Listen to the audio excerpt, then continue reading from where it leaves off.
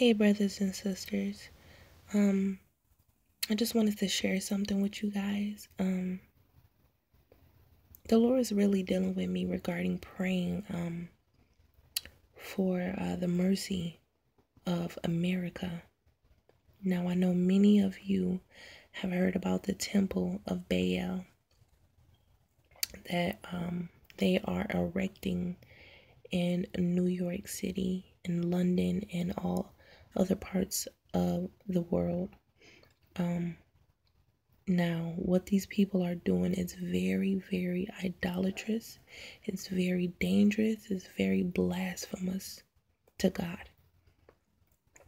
And America have been storing up wrath for the day of judgment for years and decades and centuries.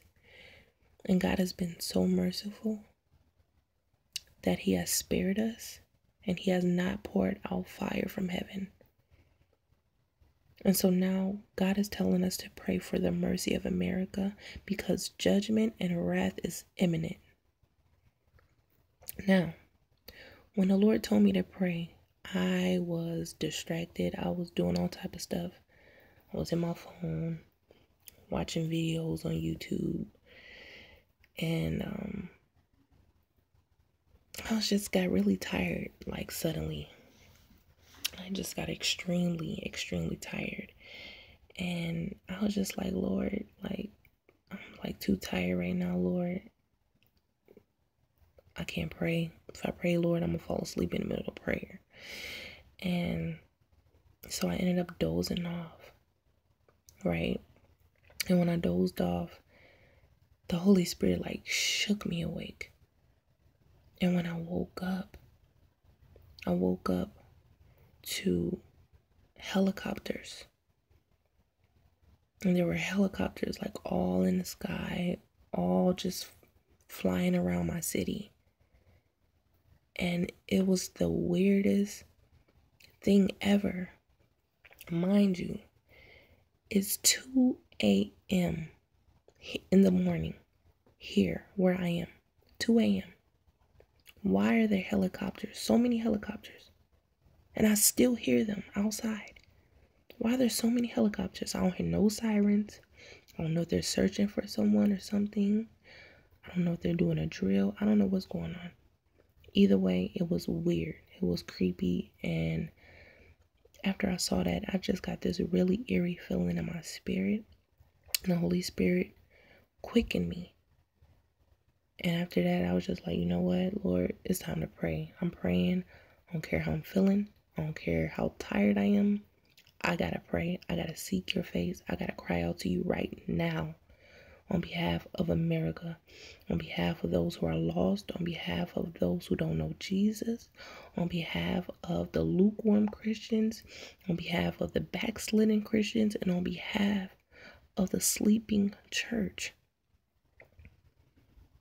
Now, after I got done praying, the Lord led me, the Holy Spirit led me to this scripture Psalms 132.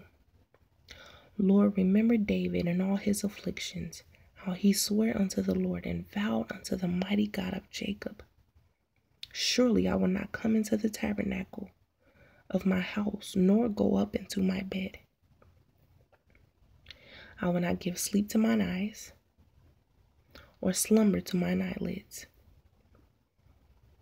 until I find out a place for the Lord and habitation for the mighty God of Jacob. Now, brothers and sisters, the Lord is telling us that it is time to come up out of our sleep and slumber. Many of us have not been praying like we should. Many of us have not been seeking the Lord like we should. We love our sleep too much. We love our food too much. We're not fasting. We're lazy. We're being lazy, y'all. We're being lazy. Like, for real. Many of us don't want to sacrifice a lot of things for God. But yet, but yet he said that we are to count the cost. If you are not willing to give up everything for my sake, you are not worthy of me. So, yes, we should be willing to give up some sleep.